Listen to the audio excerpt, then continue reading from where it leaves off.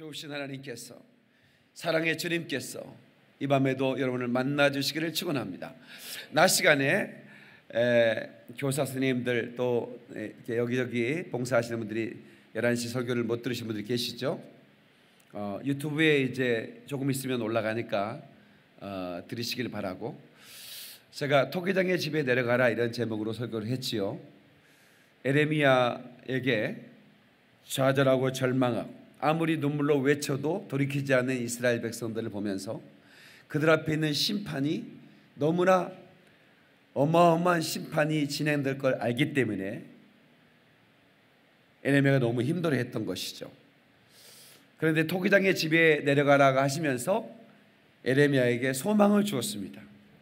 여전히 하나님의 손에 붙잡힌 하나님의 백성들을 놓지 않으시고 끝까지 추적하시고 다시 붙잡아 쓰시는 하나님. 그 진흙 진흙이 터져 나갔을 때 다시 그 물레 옥로에 올려서 다시 빚으시는 그 하나님의 손길을 느끼게 했다는 말씀입니다. 그리고 그렇게 만들어진 토기는 반드시 불가마를 거쳐야 되는 거예요. 그 불가마를 거치지 않으면 그 토기는 어느새 그 형상을 계속 유지할 수가 없던 것처럼 예, 우리 하나님의 사람들도 하나님이 빚으셨지만 우리가 하나님이 쓰시기에 합당한 그릇 되려면 반드시 그 불가마를 통과해야 된다 그 말이에요. 예. 그래서 예수님의 제자를 3년 동안 가르쳤지만 예수님은 마지막 제자들에게 명령하십니다. 너희가 성령의 불을 받아야 된다. 내가 땅에 불을 던지러 온 줄 너는 모르느냐. 네? 불을 받고 나를 증거해 다오. 그렇게 부탁을 하는, 합니다. 근데 오늘 이 야베스의 기도 안에 야베스가 참 힘든 인생을 살아왔구나 하는 것을 미루어 짐작할 수가 있습니다. 그래서 저는 이 야베스가 찬설이를 맞았다. 우리가 이제 이 독일은 불가마를 통과해야 되지만 이, 어, 이 곡식들은 찬서리를 맞아야 됩니다. 찬서리를 맞아야 튼실한 알곡이 돼요. 다시 찬서리를 맞아야 알곡이 된다. 그러니까 봄에는 이제 이 싹이 올라와서 그 키가 자라요. 크게 자라죠. 그리고 여름은 초등학생 6학년만 되면 아이들이 아버지만큼 크더라고. 엄마만큼 크고. 예. 그러나 그것은 크기만 성장했지 그 내면은 전혀 성장해 있지 못하죠. 연약하죠. 예. 그런데 여름에 뜨거운 태양을 보면서 그들이 이제 그 어, 케이스가 만들어지는 거예요. 알곡 될 수 있는 그래서 여름에 뜨, 뜨거운 태양빛을 보는 그 별을 보면 만져보면 말랑말랑합니다. 말랑말랑해요. 꽉 차 있어요. 근데 말랑말랑해요. 근데 그대로 태양빛만 있고 서리를 맞지 않으면 그대로 축정이가 되버립니다. 말랑말랑한 그대로 연글지가 않고 축정이가 되버려요. 그러니까 진짜 알곡이 되려면 산서리를 맞아야 돼요.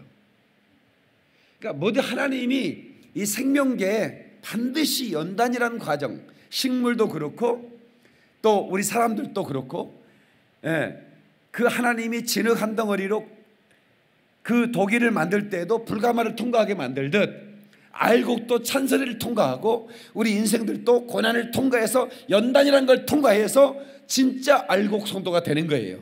믿습니까, 여러분? 그러니까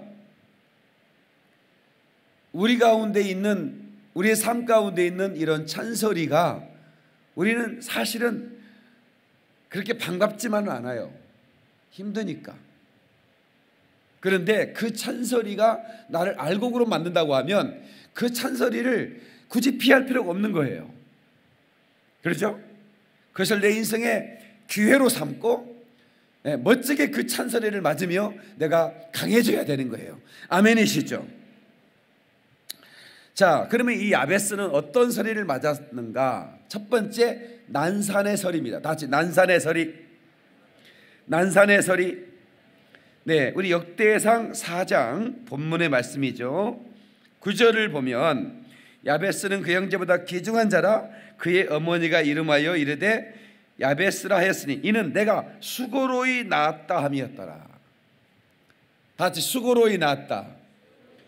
여기서 수고로이 낳았다는 것을 난산이라고 그러는데 지금은 산부인과에서 어, 이 난산이 있을 때는 제왕절개라는 것으로 어, 난산의 문제를 해결합니다. 그러나 과거에 이 아이를 낳을 때 이 난산은 둘 중에 하나는 죽던가 둘 다 죽던가예요. 네? 어머니를 어, 생명을 잃고 아이를 태어나게 하던가 아니면 아이는 죽고 엄마를 살리던가 이게 난산이거든요. 그러니까 수고로이 낳았다는 얘기는 엄마가 죽든 아버지가 죽든 둘 중에 하나를 선택할 수밖에 없는 상황에까지 이르렀다는 거예요. 이게 난산입니다. 그러니까 여기서 수고로이 낳았다는 얘기는 그냥 그냥 아팠다. 아, 애 낳는 게 너무 힘들어. 아, 이 정도가 아닌 거예요. 그건 누구나 다 느끼는 거잖아요. 근데 왜 성경에서는 수고로이 낳았다고 기록할까요? 아니 누구나 다 나는 나는 건데 수고로이 낳았다 기록할 이유가 없죠.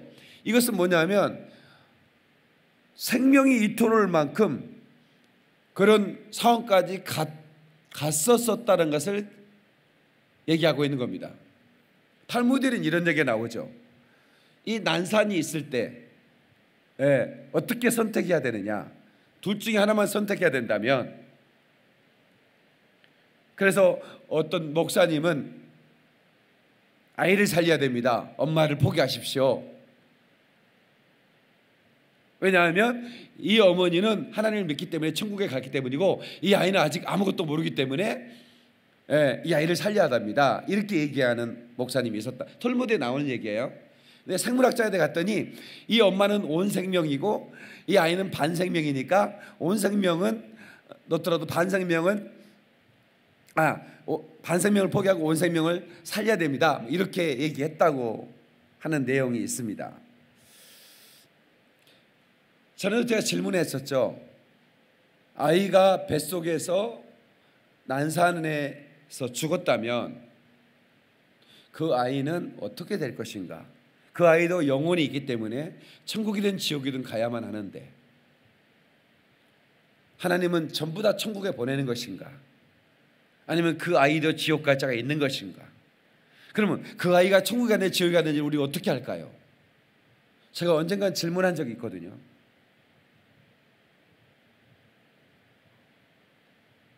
제가 말한 탈무드하고는 상관이 없어요. 탈무드에 나온 얘기고 난산에 대한 얘기인데 어떤 사람에 따라서 누구를 살려야 된다 이런 의견이 다르더라 그 얘기고 제가 여러분에게 말씀, 질문 드리는 것은 아이의 생명은 어떻게 결정되느냐 하는 거죠. 자 아이니까 하나님이 다 천국 보낼 거다. 손 들어봐. 아니면 하나님을 전혀 모르는 아이들에게 전부 다 지옥 갈 거다. 손 들어봐. 집이들은 뭐예요 지금 안 된 사람?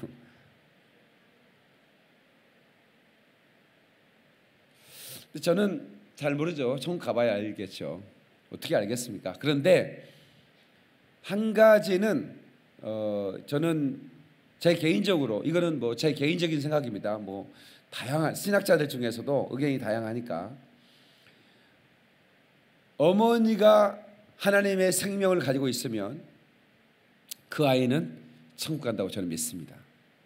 부모가 거룩하면 자녀도 거룩하니라라는 말씀이 바로 그 말씀에 해당될 거라고 저는 믿어요. 그러니까 어머니의 믿음이 그렇게 중요한 거예요. 어린아이 때. 그 증거로 아이가 아플 때 엄마만 안수해도 아이가 나와버리더라고. 신기해요. 그러니까 아이가 아파요 하고 막 아이를 데리고 막 오는데 나는 아이한테 안수 않고 엄마한테 안수를 하거든. 그러니까 우리 누님이 이제 100일 꼭 지난 아이를 할머니가 있으니까 할머니한테 맡겨놓고 우리 가족 모임에 왔었어요. 근데 가족 모임에 왔었는데 할머니 전화가 온 거예요. 시어머니한테. 아가, 지금 아이가 지금 불덩어리가 됐다. 큰일 났다. 어떡하니? 그러니까 이제 이 엄마가 우리 누님이죠. 막 발을 동동 구르는 거예요. 어떻게, 어떻게, 어떻게 그러는 거야. 그래서 내가 너나 일로 와봐. 나 기도해주면 되지. 뭘 이렇게 뛰어? 예. 그래서 내가 이제 그 예수 이름으로 명하노니 예, 악하고 더러운 것들 떠나가라. 그리고 깨끗한 받아라. 하고 엄마에게 안수를 했는데 바로 저 안수를 끝나고 전화했더니 아이가 열이 내려가고 깨끗해졌다는 거예요. 나 깜짝 놀랐어요. 저도 원래 그걸 알았는데 예? 그런 영적인 원리를 제가 알고 사역을 했죠. 그런데 실제로 너무 신기할 정도로 그렇게 되니까 그 뒤부터는 아이가 아프다면 애, 애를 데리고 와도 되지만 아, 안 데리고 누가 받을 수 있으면 놔두고 엄마만 와. 엄마가 안수 받으면 되니까.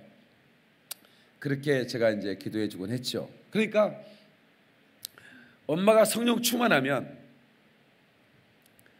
아이는 엄마하고 연결이 되는 거예요. 영적으로. 그가 의지가 분리될 때까지는 의지가 독립될 때까지는 엄마 의지가 연결되어 있는 거죠. 그래서 저는 엄마가 성령 충만하면 아이는 천국 간다고 저는 믿습니다. 그러나 어, 안타깝고 참 불행하게도 엄마가 믿지 않는 사람이라면 그 아이는 그냥 자기도 모르고 얼떨결에 지옥하는 겁니다. 그래서 어머니의 신앙이 그렇게 중요한 겁니다. 네. 그렇게 중요한 겁니다. 그런데 이 난산, 예, 이 야베스는 이 난산을 통해서 감사하게도 어머니 생명도 아이의 생명도 다치지 않고 태어났습니다. 그런데 또 한 번의 서리가 있습니다. 또 한 번의 서리가 있는데 유복자의 서리입니다. 여러분 유복자가 뭡니까? 복 있는 사람입니까? 무슨 뜻이에요 유복자가? 현석이 무슨 뜻이야? 너는 인마 명문대 나온 애가 모르면 누가 한단 말이요? 그 구구책에 나오는 얘기인데 몰라? 유복자가 누군지? 아버지 없이 태어난 아이가 유복자라고 그러는 거예요. 그걸 몰랐냐 너는? 그러니까 교회 다녀야 되는 거야. 훌륭한 걸 알게 되니까. 어떻게 목사님은 이 성결 두, 두 구절을 읽고 에? 야베스에 대해서 나온 구절이 두 구절인데 어떻게 유복자라는 걸 압니까? 라고 질문할 수 있을 텐데 어머니가 이름하여 야베스라 했다 그랬거든요. 유대인들은 아버지가 이름을 줘요. 반드시 아버지가 이름을 집니다. 그런데 어머니가 이름했다는 얘기는 이 성경에서 그 행간에 아버지가 없다는 걸 말해주고 있는 겁니다. 예, 태어났는데 아버지가 없어요. 유복자의 설이. 예?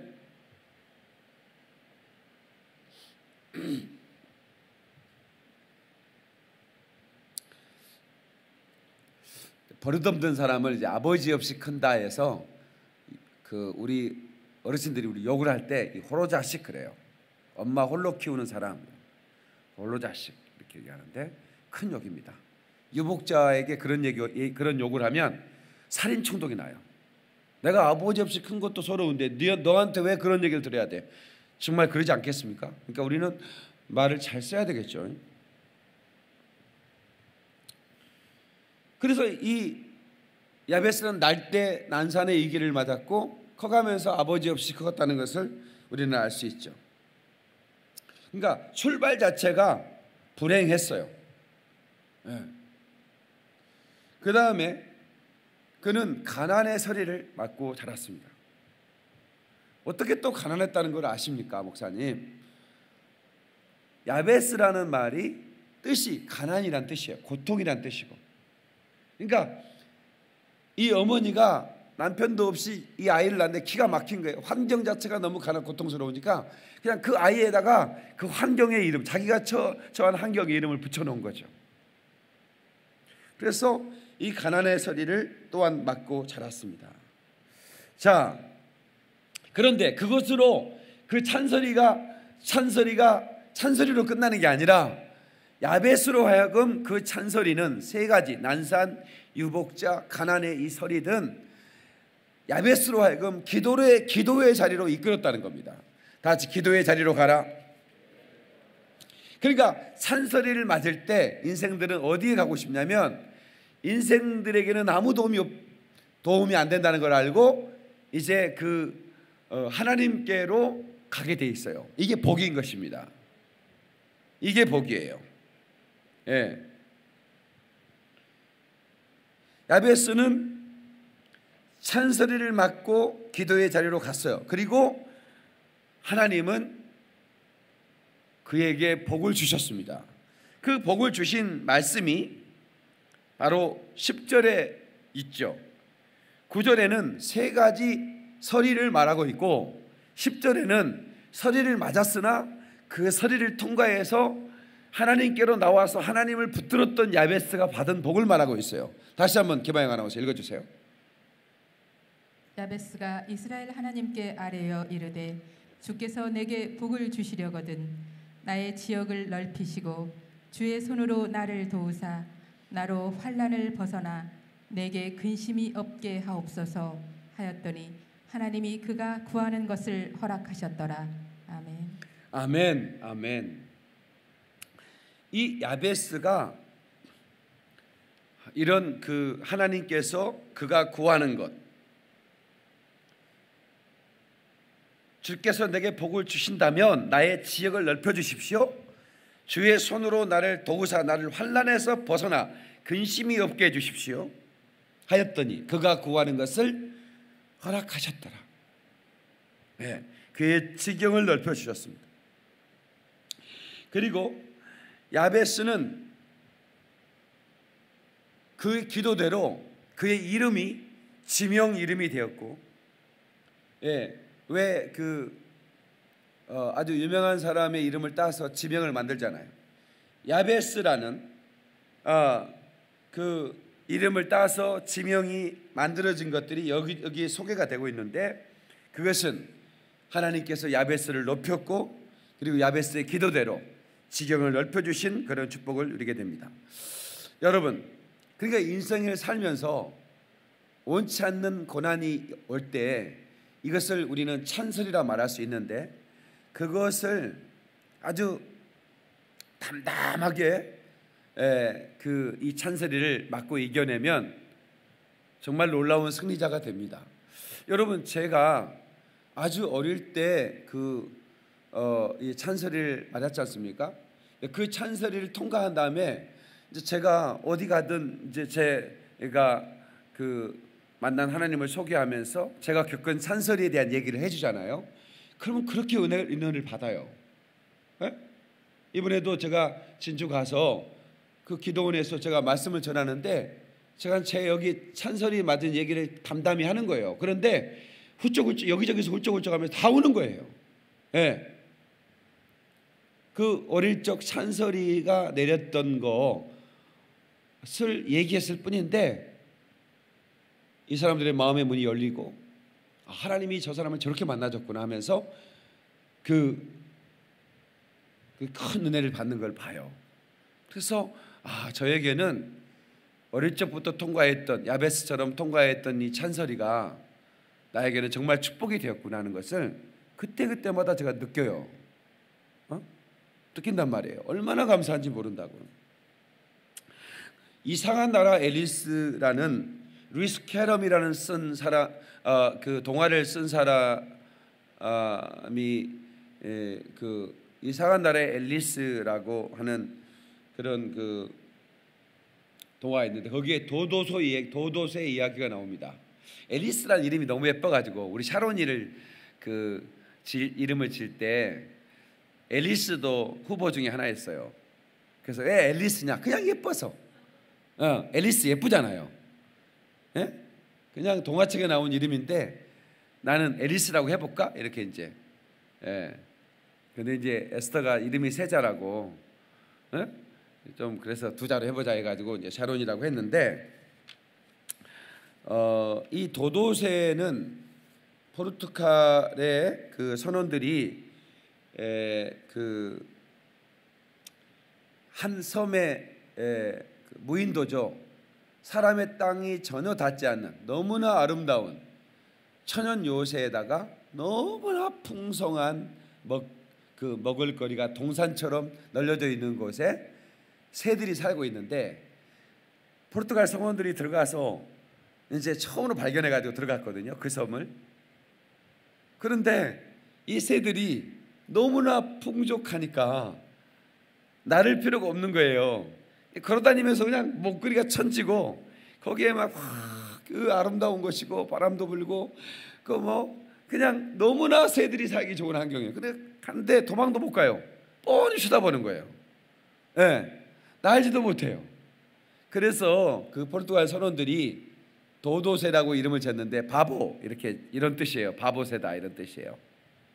예. 네. 그러니까 이 새들이 어 결 그 어, 아주 잘 나르는 새였대요. 새 학자들이 그 연구를 해보니까 그런데 이 섬에 정착한 다음에는 나를 필요가 없어가지고 예, 그렇게 예, 살아가다가 예, 멸종된 새란 말이에요. 이 새들은 결국 멸종됐어요. 도도새는 멸종이 돼버렸어요. 지구상에 없어요. 그렇게 살다가 멸종돼 버리는 거예요. 그래서 서리가 없으면 알곡이 안 됩니다. 절대로 안 됩니다. 저는 농사꾼의 아들이잖아요. 네? 여름에 벼 이거 있잖아요. 이렇게 말랑말랑해요. 손톱으로 딱 까잖아요. 이게 하얀 지물이 팍 튀어나와요. 하얀 그, 그 뜬물 같은 거 있잖아요. 그 뭐라 그래? 쌀 씻는 물 같은 그런 게 꽉 차 있어요. 아래. 이게 서리를 맞으면서 단단해지는 거예요. 그렇지 않으면 서리가 없으면 그대로 쭉정이가 돼가지고 말라버리면 하얀 가루만 풀풀 거기는 쌀이 나올 수가 없어요. 반드시 서리를 거쳐야 돼요. 그러니까 모든 것들은 그래요. 그 벌레들도 그, 그 애벌레로 있을 때 그 조그마한 구멍에서 그걸 온 힘을 다해 그, 그 조그마한 구멍을 빠져나오면서 나중에 이제 날개에 힘이 붙어서 날아다니는 거예요. 그러니까 그런 과정을 다 통과하도록 하나님 만드셨더라고. 연구를 해보니까 사람 또한 마찬가지예요. 네. 중앙 아메리카에 중앙 아메리카가 어디냐면 이제 과테말라, 이제 뭐 온, 온두라스 뭐 이런 곳이거든요. 북미, 미국, 캐나다 밑에 있는 나라들이에요. 가난한 나라예요. 그 다음에 이제 밑에가 남미죠. 예, 북, 남미와 북미 사이에 중앙에 있는 곳이에요. 근데 이게 마야 문명이라고 혹시 들어봤어요? 마야, 마야 문명. 900년 동안 어마어마한 화려한 문명이 꼽혔어요. 그곳 중앙 아메리카에 어마어마한 정말 화려한 문명이었습니다. 마야 문명이. 근데 이 마야 문명이 순식간에 사라졌어요. 지구상에서. 중앙 아메리카에 있었어요. 그 역사가들이 이 연구를 해보는 거예요. 어, 떻게 이렇게 찬란한 문화가 문명의 그 마야 문명이 한 순간에 사라져 버리는가? 어? 여러분 신기하잖아요. 그런 거대한 문명이 어떻게 한 순간에 사라져 버리냐고요. 지금 사라져 버렸어요. 도도새가 없어지도록 멸종되듯이 그냥 없어져 버린 거예요. 그래서 역사가 토인비 아시죠? 토인비. 토인비가 이렇게 말했어요. 마야 문명은 예부에 도전이 없어서 도도새처럼 스스로 멸망한 문명이다 그랬어요. 그러니까 너무 평안한 거야. 그러니까 전혀 예부에 대한 어떤 도전이나 침략도 없었어요. 그냥 꽃피고 화려하게 이렇게 예, 이렇게 살아난 문명이었어요. 근데 한순간에 확 사라졌어요.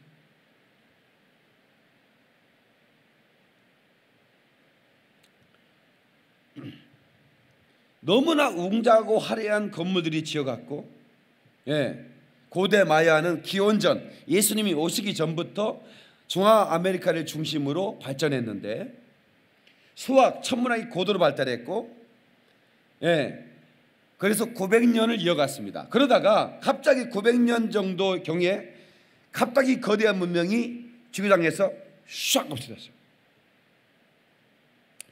장기적인 가뭄 때문입니까? 그것이 아니었어요. 지구 온난화 때문일까? 그것도 아니었습니다. 허리케인 같은 그런 태풍 그것도 아니었습니다. 단 한 가지예요. 너무나 태평스럽게 살다가 스스로 타락해서 사라져 버린 거예요.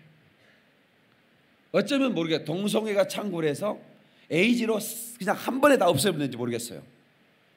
나는 그게 가능하다는 게 아프리카를 제가 가잖아요. 깜짝 놀랐어요. 소아질랜드에서. 인구의 42%가 에이즈 환자라는 너무 놀랐어요. 그래서 이제 너무 놀래가지고 아프리카가 어, 이제 그런 동성애 이런 것들을 제재하기 시작했어요. 예, 제재하기 시작했습니다. 그래서 동성애가 아프리카에서는 줄어들어요. 줄어들고 있습니다. 근데 지구상에 유일하게 유일하게 동성애 환자가 늘어나는 곳은 대한민국입니다. 동성애에 대해서 입도 뻥끗 못하게 만들어놨어요. 네? 세월호 400명이 바다에 침몰한 것은 엄청난 사건으로 여기는데 그 또래 남자아이들이 1년에 1600명이 에이즈에 걸렸어요. 그리고 죽어가요. 그런데 입도 뻥끗하지 못하게 만드는 거야. 우리 젊은이 이 생떼 같던 새끼들이 동성애를 통해서 어? 에이즈에 걸려 죽어가는데 입도 뻥끗 못하게 만들어. 그래서 이 순전한 아이들이 어? 호기심이 아니면 용돈이 필요해서 그게 한, 한 번에 에이즈에 걸려 죽어가는 거예요. 난 이런 거 생각하면 너무 가슴이 아파요. 네. 다른 나라는 경고합니다. 계속해서 경고합니다. 근데 우리나라는 경고를 못하게 만들어요.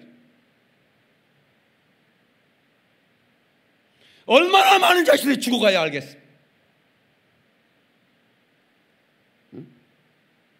얼마나 많은 자식들이 에이즈에 걸려서 죽어가야 에?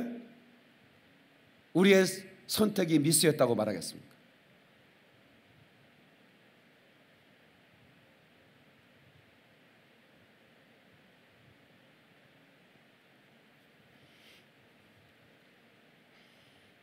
지난주에 우리나라에 어마어마한 사건들이 많았습니다. 다시 한 정당에서 군대 내 학문 성교 허락하라고 다시 법안을 올렸습니다.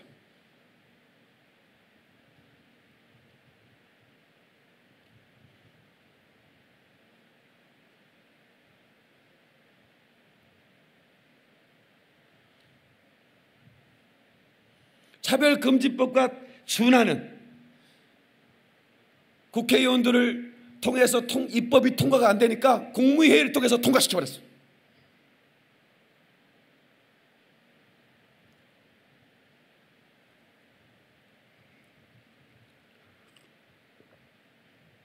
영적인 사람들은 마귀가 어떻게 공격을 하고 있는가를 간파할 수 있어야 돼요.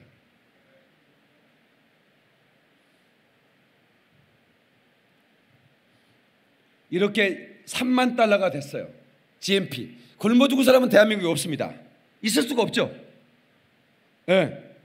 국가에서 기초생활수급자라 제도가 돼서 노숙자가 됐든 누가 됐든 국가 혜택을 요구하면 누구든 오히려 아무것도 없는 사람들은 병원비 무료, 주거비 모든 걸 다 지원해 주는 겁니다. 이제는 많이 먹어서 죽지 못 먹어 죽는 사람은 없습니다. 이 나라가 이걸 그대로 방치하면 마야 문명처럼 스스로 무너져 버리는 겁니다. 무너져 버리는 겁니다.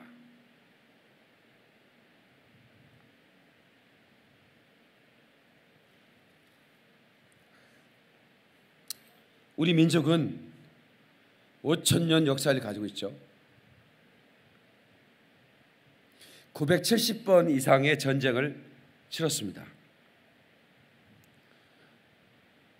어느 민족 못지않게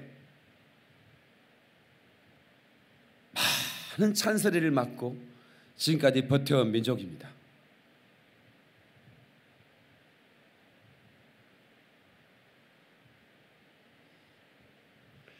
그래서 하나님은 이 민족을 저는 쓰실 거라고 믿는 목사입니다. 지구상에서 가장 시련을 많이 당한 민족은 이스라엘입니다. 70년 7월 9일에 나라를 잃었습니다. AD 70년에. 네? AD 70년. 예수님이 오신 후 70년 만에 나라를 잃었어요. 그리고 1948년 5월 14일 우리는 1945년도 해방됐죠. 1948년 5월 14일 무려 1900년 만에 나라를 다시 회복했습니다. 그 동안에 그들이 겪은 1900년 동안 겪은 유대인 순환사는 하늘을 먹, 하늘을 두루마기 삼고 바다를 먹물 삼아도 다 기록할 수 없다고 말할 정도로 어마어마한 순환을 겪었습니다. 그들을 반기는 곳은 세계 어디도 없었습니다. 그래도 미국이 그들을 받아줬습니다. 그런데 미국마저도 매년 강물이 넘쳐서 범람하는 허드슨 강변 맨, 맨날 그 홍수가 돼가지고 범람해 버리는 곳을 너희들 거기 살아. 그래도 유대인들에게 그래도 감사한 것은 그 땅이라도 준 거예요. 너 거기 살라고. 그러나 그 땅은 온전한 땅이 아니었습니다. 해년마다 범람하는 땅입니다. 살림살이 다 잠기는 거예요. 그런데 그들은 그 강변에 댐을 만들고 그들이 번성하기 시작했습니다. 그래도 미국은 자기들을 살게 해줘서 감사하다고 뚝을 쌓고 엉벽을 치면서 최악의 땅을 최고의 땅으로 만들기 시작했습니다. 그것은 오늘날 세계 금융의 중심지가 되었습니다. 세계 인구 0.3%밖에 되지 않는 유대인이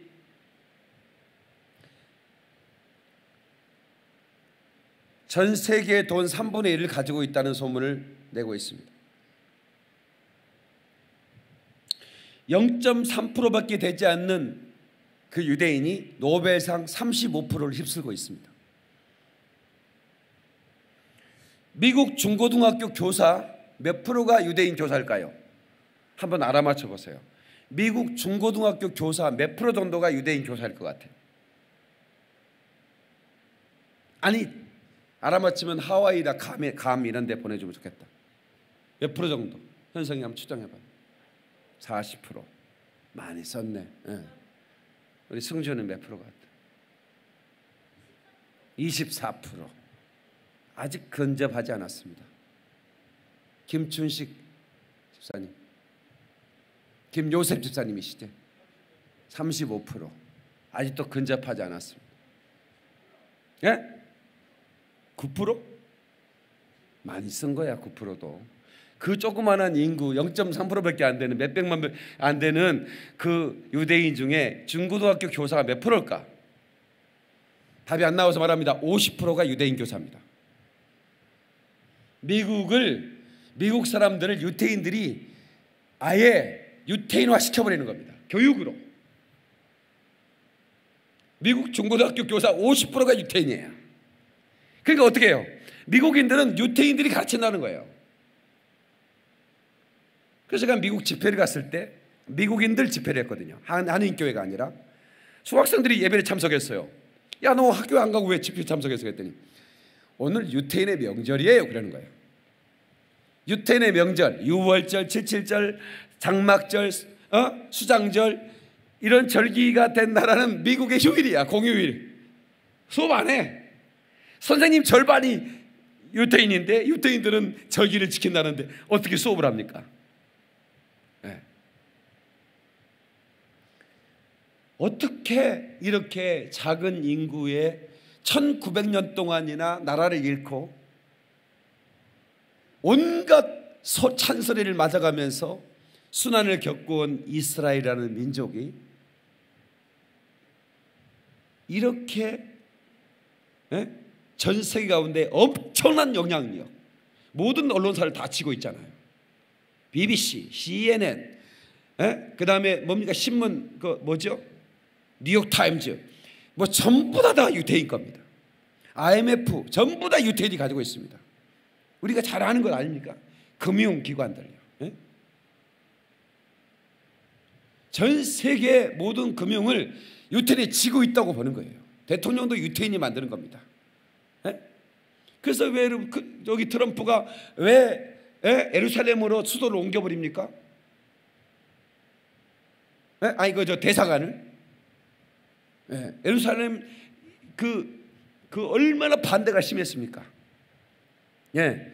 미국의 원조를 받는 나라들이 반대하는 거예요, 유엔에서. 그러니까 유엔 그 미국 대사가 뭐라고 그래요? 내가 오늘 지금 봤습니다. 그렇게 얘기하는 거예요. 우리가 어마어마한 돈을 당신의 나라에 지금 지원하고 있는데 우리 미국과 다른 표를 보내 내가 지금 봤어 이렇게 얘기하는 거예요. 네. 우린 에루살렘으로 이스라엘의 수도는 에루살렘이다 우리가 인정하겠다는 거예요. 그건 반대하거든요. 이슬람권이. 근데 트럼프가 온갖 욕을 다 얻어먹으면서 에? 에루살렘으로 테헤란인가 있었을 거예요 아마 에루살렘 옮겨버리잖아요. 그럼 왜 그럼 트럼프가 그렇게 예? 온 세계에 원성을 들이면 더군다나 이슬람권에서 죽이려고 하잖아요. 예? 그런데 왜 그렇게 하느냐면 유태인들이 밀고 있단 말이에요. 유태인이 밀어야 대통령이 되거든. 유태인이 이 사람 안 돼. 그러면 이제 안 돼요, 대통령이. 그건 누구도 될 수가 없어요. 그 정치 자금을 누가 됩니까? 그 어마어마한 정치 자금을. 예? 미국을 움직이려면 어마어마한 정치 자금이 필요한데 누가 그걸 되냐고. 미국이 다 되고 유태인들이 되고 있거든요. 유태인들이 지지를 않으면 절대로 대통령이 될 수가 없어요. 그러니까 전 세계 사람이 욕을 얻어먹더라도 유태인의 지지를 받아야 되기 때문에 그런 일을 하는 거예요. 네. 왜 이란에 핵을 포기한다겠다 핵을 만들려고 하니까 에? 다시 제재를 막 가합니까? 그건 유태인이 압박을 하는 거죠. 제재해 그러는 거예요. 네. 이란이 핵을 만들면 어떻게 돼요? 이스라엘이 핵을 가지고 있습니다. 이스라엘은 핵 보유국이에요. 근데 이란은 이스라엘을 못 잡아먹어 아주 그냥 이를 갈고 있는 나라거든요. 이란이 핵을 만들면 어떻게 되겠습니까? 핵전쟁이 일어나는 거 아니겠어요? 그러니까 사우디는 잠잠하잖아요. 사우디는 미국 편에 서 있거든요. 이란과 별로 안 좋아요, 사이가. 네. 그러니까 사우디는 미국의 지원을 받아가면서 산유국으로서 편하게 살고 있죠. 근데 이란은 가격 이슬람이 많이 있기 때문에 저 이스라엘을 어떻게든 잡아먹어야 되거든. 네. 근데 미국이 딱 떠받치고 있으니까 미국은 유대인의 나라예요. 0.3%의 유대인이 꽉 잡고 있는 거예요.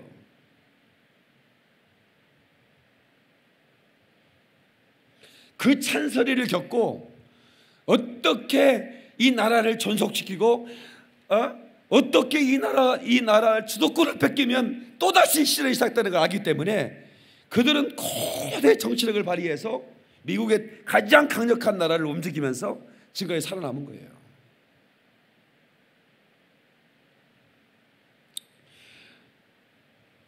그래서 대표적으로 이스라엘과 우리나라는 이렇게 시련 속에 살아남은. 그래서 제가 오늘 사실은 이게 설교 준비를 이 야베스의 시련 찬선을 통해서 왜 우리나라를 이렇게 쓰시는가에 대해서 제가 설교를 하려고 했는데 시간이 좀 가서 고민이 생기네요. 다음 주에 해야 될 것 같은데. 여러분 셈의 후손인 에벨이라는 인물이 나오죠. 창세기 9장을 잠깐 볼까요?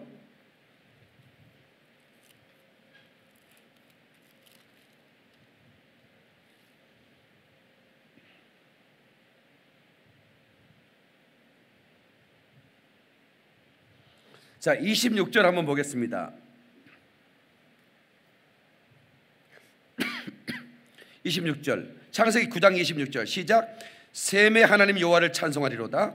가나는 셈이 종이 되고 하나님이 야벳을 창다게 하사 셈의 장막에 거하게 하시고 가나안은 그의 종이 되게 하시기를 원하노라 하였더라. 자 보세요.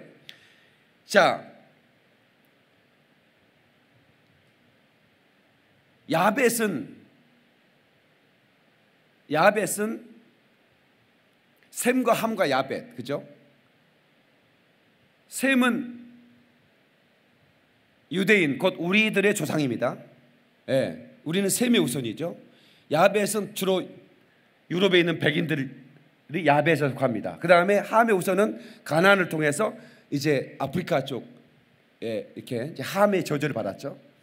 근데 이런 설교는 아프리카에서 하면 큰일 납니다. 굉장히 싫어하죠. 예.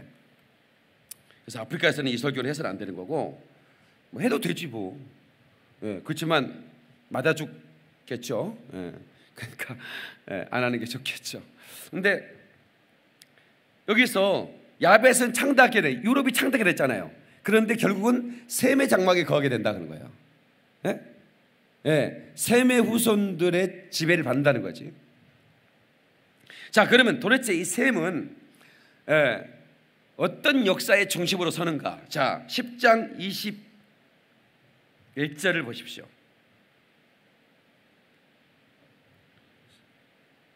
창세기 10장 21절을 보세요. 자, 시작. 셈은 에벨 온 자손의 조상이요 야벳의 형이라 그에게도 자녀가 출생하였으니 셈의 아들은 엘람과 아스로와 아르바삭과 룻과 아람이요 아람의 아들은 우스와 홀과 게들과 맞으며 아르바삭은 셀라를 낳고 셀라는 에벨을 낳았습니다. 자 보세요. 왜 셈은 에벨 온 자손의 조상이 됐을까? 자, 자 보세요. 아주 중요합니다. 셈과 에벨은 바로 직손이 아니에요. 예? 3대 손이라고. 근데 왜 셈은 에벨의 온 자손의 조상이라고 했을까? 자, 질문해야 됩니다. 그래야 우리가 어, 질문해야 우리 내가 확 돌아가요. 질문을 던지면 내가 돌아갑니다. 왜 셈은 에벨 온 자손의 조상이라고 했을까? 에벨이라는 인물이 중요하다는 얘기입니다. 그럼 에벨은 에벨은 셈의 아들 아르바삭의 아들이에요. 아르바삭은 셀라를 낳고 셀라는 에벨을 낳았다 그랬죠. 아르바삭의 손자죠.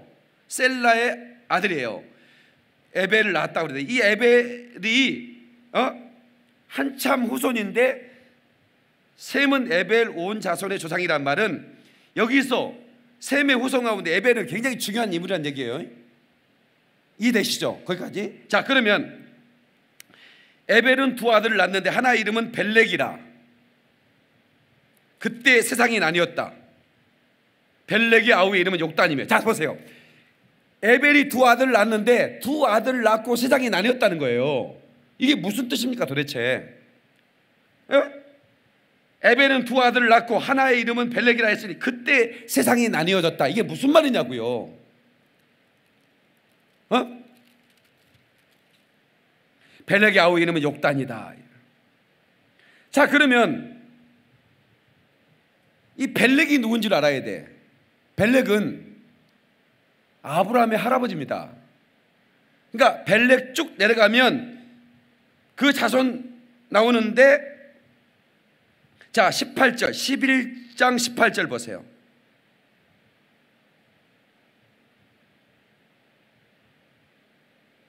자, 벨렉은 3세에 루를 낳고 루는 낳은 후에 209년을 지내며 자녀를 낳았으며 루는 32세에 에, 수룩을 낳았고 수룩은 낳은 후에 207년을 지내며 자녀를 낳았으며 수룩은 30세에 나홀을 낳고 나홀은 낳은 후에 200년을 지내며 자녀를 낳았으며 나홀은 29세에 데라를 낳고 데라를 낳은 후에 190년을 지내며 자녀를 낳았으며 데라는 70세에 아브라함과 나홀과 하란을 낳았더라. 자 보세요. 그럼 벨렉의 6대 손이 아브라함인 거예요. 다시 말하면 이 벨렉은 아브라함의 조상이 돼요. 아브라함의 조상이 된다는 얘기는 지금 유대인의 조상이란 말이에요. 벨렉은. 그러면 이 욕단은 누구냐는 거죠. 욕단. 그때 세상이 나눠졌는데 그때 세상이 나눠졌는데 여기서 벨렉과 욕단이 나눠졌다는 얘기 아닙니까? 그러면 벨렉과 욕단은 굉장히 중요한 인물이죠. 벨렉은 아브라함의 조상이 됐으니까 아주 중요한 것이고 그러면 욕단은 어떤 인물인가? 자, 이 욕단에 대해서도 예, 성경이 말하고 있는데요. 자, 우리 아 이것까지는 제가 안 하고 넘어가려고 했는데 다음 주에 해볼까 했는데 예, 기왕에 본, 봤으니까 한번 봅시다. 창세기 10장 25절. 자, 욕단은 자 시작. 아, 우리 김하영 아나운서 읽어주세요. 에벨은 두 아들을 낳고 하나의 이름을 벨렉이라 하였으니 no no no no 10장 26절 예. 욕단은 알모닷과 셀렙과 하살마옒과 여라 여라와 아도람과 우살과 디글라와 오발과 아비마엘과 스바와 오빌과 하윌라와 오밥 오밥을 낳았으니 이들은 다 욕단의 아들이며 그들이 거주하는 곳은 메사에서부터 스발로 가는 길의 동쪽 산이었더라. 자, 여기 중요합니다. 자, 이 욕단은 자식들의 이름이 하나하나 다 등장하는데 다른 어떤 인물보다도 아들들이 많습니다. 이 얘기는 그때 당시에 이런 아들들이 많다는 얘기는 강하다는 거예요. 이 욕단은 굉장히 강한 어, 사람이었어요. 근데 이 사람이 동쪽 산으로 갔어요. 왜냐하면 그때 당시 함의 계보에 있는 니무롯이 바벨탑 건설에 나섰거든요. 정권을 잡았어요. 예? 그는 어 그는 그 용사였다고 그랬어요. 니무롯이. 그래서 하나님을 대적하기 위해서 바벨탑을 짓는 일에 다 동참하게 명령했는데 이 욕단은 실담 소리 말어. 나는 너희 동참할 수 없어 하고 동쪽산으로 이동하는 거예요. 그래서 메사와 스발, 스발은 세파르인데 시베리아를 말합니다. 그래서 파미르고원, 천산고원, 시베리아를 건너서 만주 대원을 만주 표원을 건너서 동쪽산 백두산까지 이르렀단 말이에요. 그 욕단의 연대가 당군의 연대와 정확하게 일치하다는 거예요. 네? 아멘이 없네. 이게, 지금 엄청나는 흥분하면서 말씀을 전하는데 이게 너무 중요한 겁니다. 이게 네? 그래서 그때 세상이 나뉘어졌다는 얘기는 하나님이 선택한 에? 그 벨렉계 벨렉계 히브리인 그러니까 에벨 에벨이라는 말에서 그 에벨 때 세상이 나뉘었다고 그랬잖아요. 그 에벨이라는 인물이 히브리라는 말에, 말, 말이에요. 그 이게 거기서 나온 말이에요. 그러니까 벨렉계 히브리인과 욕단계 히브리인을 나누는데 욕단계 히브리인이 바로 우리들의 조상이라고 저는 믿는 사람입니다. 이게 지금 박사 논문으로 나오고 거의 이제 신학자들이 이걸 부인할 수가 없는 거예요. 네. 자, 그러면 제가 한문을 가져왔는데 제가 너무 기절하게 놀란 게 이 한문이 예? 이 한문의 그 발생 기원을 보니까 BC 2500년경으로 알려져 있어요. 그러니까 지금부터 4500년 전, 거의 5000년 전에 이 한문이 만들어졌다는 거죠. 네? 진나라, 청나라가 만든 게 아니에요. 그런데 이 한문을 연구해 보니까 창세기가 그대로 이 한문 속에 한문은 뜻글자잖아요. 뜻이 들어있단 말이에요. 그, 그 핵과 부수에 전부 다 뜻이 들어있는 거예요. 여러분 한번 생각을 해 보십시오. 배선자, 그 배에 예? 여덟 명의 입이 들어있다. 여덟 팔의 입구. 노아의 배에 탄 사람이 여덟 명이 탔잖아요. 어떻게 배라는 단어에 여덟 명의 여덟 명의 사람이라 입이 들어 있다라는 표현을 하냐고요. 이해가 지을조 흙토에다가 점이 생기거든요. 흙토 생기를 부르니 사람이 됐다. 그래서 걸어다 사람이 걸어다님 이것이 지을조예요. 하나님이 지었는데 흙에다 생기를 불어넣었대. 창세기를 아는 사람만 이걸 만들 수 있어요. 밭전 네 개의 강이 흐르는 동산을 말해요. 밭전자 네 개의 강이 흘러요. 이걸 에덴 동산을 말해. 밭 밭이라는 말을 어떻게 그렇게 표현할 수 있었을까? 산의 남 밭에 밖에 쫓겨나서 힘을 써야 된다. 힘력자 그게 산의 남입니다. 에덴 동산에 쫓겨나 가지고 힘을 써야 된다라고 하는 저주가 있었지 않습니까? 어쩌면 그렇게 산의 남에 그 밭 동산 바깥에다가 힘력자를 쓰냐고요. 계집요 갈빗대 하나에 사람이 갈빗대로 사람 만들었다 그 말이에요. 별로 안 놀라시는구나. 너무 놀랍지 않습니까? 마기 마자 마기 마자에 생명나무 하나와 선악과 나무, 나무 두 나무가 들어갑니다. 거기에 귀신 신자가 들어가요. 마귀가 두 나무 사이에서 흘렀다 그 말이야.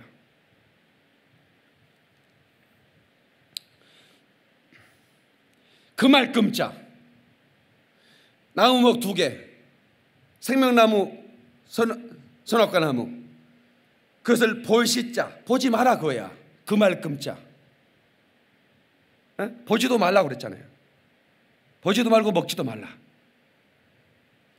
탐할 탐자 나무목 두 개에다가 생명나무 선악과 나무 밑에다가 계집 여자 놓으면 여자가 탐했다 그 말이야. 여러분 이런 한문 안에 창세기가 다 들어있다는 거 아십니까? 이거를 누가 만들었을까요? 노아는 600세를 살았다고 그랬습니다. 노아는 욕단과 함께 동쪽으로 동쪽으로 이동했을 겁니다. 그리고 가장 끝 동쪽 산 백두산에서 천신제 하나님께 예배를 드리고 제사를 드리고 그리고 나라를 세웠습니다. 그게 고조선입니다.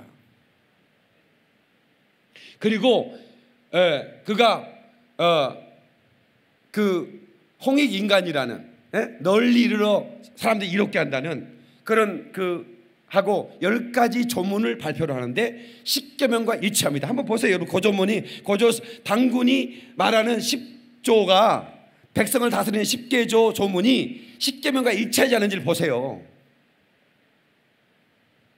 그러니까 여러분 중국은 한문을 누가 만들었는지에 대해서 에? 자기 나라들이 만든 게 아니라 우리 조상이 만든 거예요. 그러니까 이 만주 쪽은 다 우리 조상의 땅이었단 말이에요. 그러니까 거기에 우리 조상의 유족들이 나오니까 거기를 절대로 파헤치지 못하는 게 하는 거예요. 동굴 무덤에 어마어마한 그런 그 역사 유족이 있는데 중국의 학자들이 들어가 보니까 중국의 역사는 전혀 다른 거예요. 그러니까 바로 전화를 해가지고 이거 빨리 닫아야 됩니다. 이래가지고 거기를 닫아버리고 폐쇄하고요.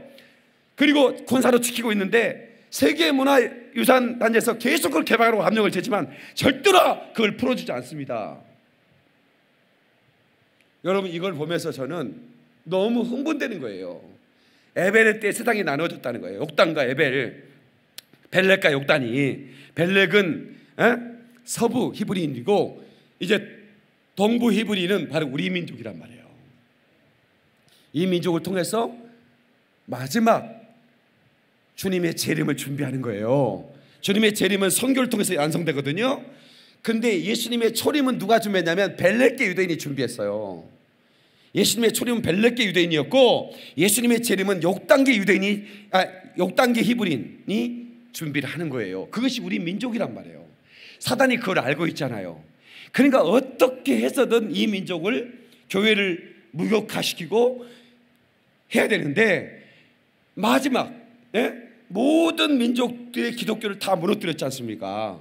그런데 대한민국은 여전히 왕성하게 선교하고 있는데 이것을 무너뜨릴 수 있는 방법은 바로 우리가 그렇게 우습게 생각하는 동성애라는 거예요. 이게 한번 정말 통과되고 나면 예, 이제 교회는 쓰나미처럼 무너질 수밖에 없는 상황인데 그래서 이 목사가 그렇게 그렇게 외치는 겁니다. 여러분들에게 이 사실을 심각하게 생각해주고 기도해야 된다는 거예요. 네. 여러분 에레미야 18장의 6절에 보니까 우리는 주의 손에 있는 진흙이라는 말로 결론을 탁 내립니다. 저는 토기장의 집에 내려가서 우리가 보았지 않습니까? 그 진흙은 하나님의 손에 있다는 것. 그래서 이 민족을 통해서 이사야 46장에 뭐라고 말하죠? 저 동쪽에서 동쪽 끝에서 큰 새가 날아와서 이스라엘을 구원하리라. 내가 계획했으니 내가 말하였으니 반드시 이루리라. 이 말씀이 반드시 이루어져야 된다 이 말이에요. 그러기 위해서는 한국 교회가 다시 일어나야 됩니다. 절대로 이 민족은 하나님의 약속을 반드시 이루는 민족으로 저는 쓰임 받을 줄로 저는 믿습니다. 그렇다고 한다면 우리 후대들, 지금 우리 청년들, 또 우리 에, 아이들, 저는 우리 믿음의 가족, 우리 공동체 우리 가족들은 우리 아이들을 키우는 엄마들은 어? 저쪽에 도우리랑 있잖아요. 저 누구랑 예? 아이들 말이에요. 예? 이 아이들을 요즘 아이돌 가수들 키우는데 어렸을 때부터 댄스 교수, 언어 교수, 예? 그 다음에 보컬 레슨 막 예? 아주 아예 만들어내는 거예요. 그러니까 우리나라 한류가 케이팝이 지금 뭐 유럽 다 쓸어버리고 있잖아요. 어마어마합니다. 케이팝이. 이거는 미국처럼 재능 있는 애들이 오디션을 가가지고 한번 부르고 예, 그냥 부른 것과 차원이 달라요. 우리나라는 아예 기획사에서 일곱 살 때부터 키우는 거예요. 마치 발레를 키우듯이 예? 발레도 일곱 살때 하잖아요. 어렸을 때부터 예? 이 케이팝 이 대중음악계를 그렇게 하듯이 우리도 이제 믿음의 아이들을 이렇게 키워야 된다 생각해요. 복음 전하는 전사들로 완전 무장시켜야 돼. 언어로. 그래서 제가 영어 예배를 하는 것은 그냥 무슨 영어 배우라 하는 게 아니라 이 아이들이 글로벌 시대에 마음껏 영어로 복음을 전할 수 있는 그런 도전을 받았으면 좋겠고 실제로 그렇게 했으면 좋겠다는 마음이 제게 있는 거예요. 예. 네. 그래서 제가 우리 샤론이에게 보컬 레슨 받게 하고 드럼도 쳐라. 기타도 배워라. 예. 네. 그래서 이 아이가 나중에 예배 인도자로 예? 정말로 수만 명을 그냥 기타 하나를 들고 그냥 압도할 수 있는 그런 예배 인도자로 어렸을 때부터 예, 이거를 길러야겠다. 예. 예. 그런 마음이 제가 들었어요.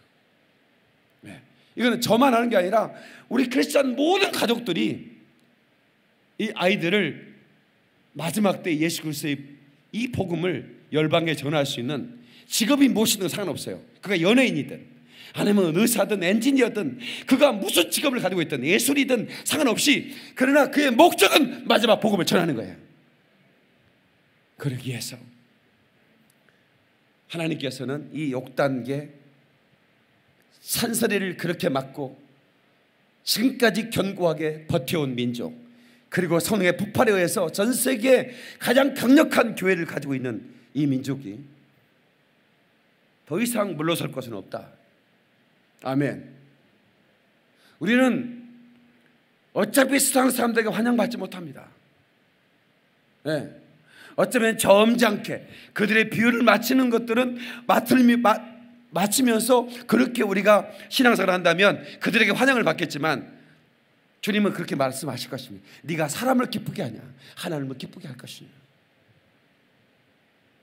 정말로 성경적으로 예수를 믿다 보면 미친놈 소리를 들을 수밖에 없습니다.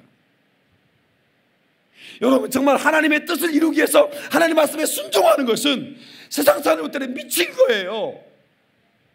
정말 미친 겁니다. 그래서 우리 교회가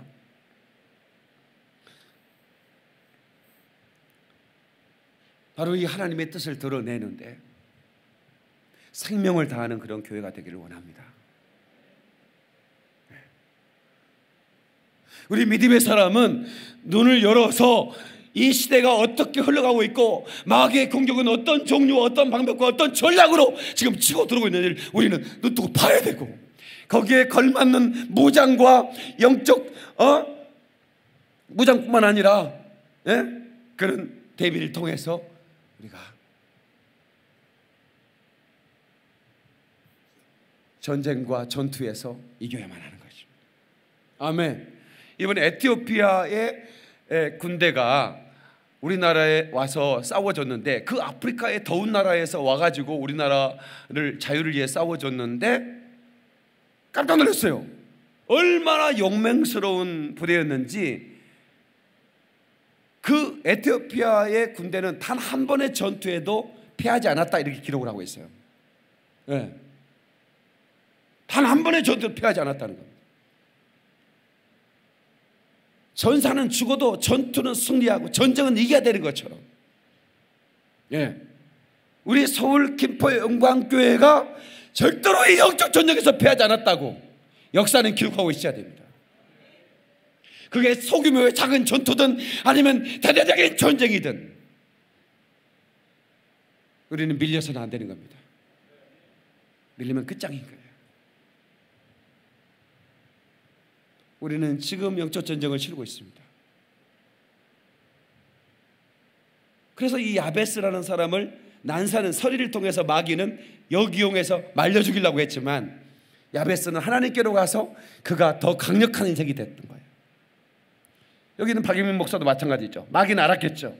하나님이 에레미야에서 네 뱃속에 엄마 뱃속에 생기기 전부터 짓기 전부터 내가 너를 알았다고 말했던 것처럼 하나님께서는 이 박인민 목사를 예수 그리스도의 재림을 준비하는 열방의 복음을 전하는 그런 전사 하나님 택한 걸 마귀는 알았던 것 같아요. 나도 몰랐고 아무도 몰랐는데 그래서 아예 그냥 초상의 저를 죽이려고 했던 것 같습니다. 근데 제가 에? 살고 싶어서 그 찬소리 찬소리를 맞고 엎드려 하나님께 기도하다가 하나님의 불을 받고 열방의 복음 전하는 도구로 지금 쓰임 받고 있지 않습니까? 그렇습니다. 마귀는 여러분 한 사람 한 사람이 얼마나 하나님 앞에 귀하게 쓰임 줄 알아요. 그러니까 여러분을 죽이라고 할 거란 말이에요. 그러니까 여러분들은 반드시 이 영적 전쟁에서 영적 무장을 통해서 이겨야만 하는 것입니다. 기도하겠습니다.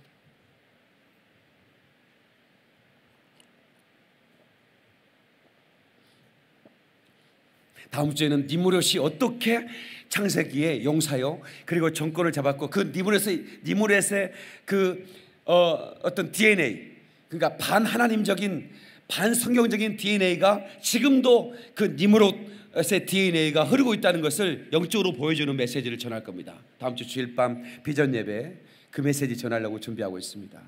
왜 욕단계 히브리인 우리 민족이 중요한 것인지를 그때도 욕단은 니무롯을 저항하고 하나님을 예배하는 사람으로 남았던 것처럼 이 민족이 이 니무렛의 DNA 전 세계가 다 니무렛의 DNA에 장악되고 있는데 이 민족은 저항해야 되지 않는가? 그것에 대해서 여러분들이 분명하게 알아야 되는 거예요. 그래서 제가 다음 주에 전해주고 싶은데 빨리 전해주고 싶은 마음인데 시간이 문제가 되잖아요. 그래서 예, 오늘 여기서 기도하겠습니다. 하나님 이 민족을 써주시옵소서. 이 민족을 하나님 기억하시고 하나님이 반드시 이룰 것이라는 그 약속이 누구를 통해서든 이루어질 텐데 하나님 할 수만 있다면 우리를 통해서 이루어지길 원합니다. 하나님 아버지 세계 선교의 완성 유태인의 구원 이스라엘 선교까지 하나님 대한민국이 책임질 수 있도록 촛대가 옮겨지지 않도록 하나님 우리를 붙잡아 주시옵소서.